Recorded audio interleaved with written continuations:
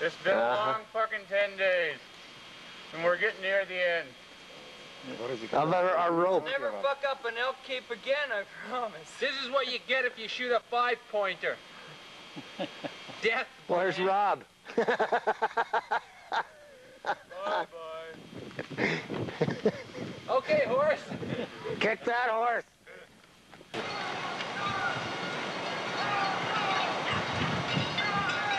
Watch him run right through the fucking tent.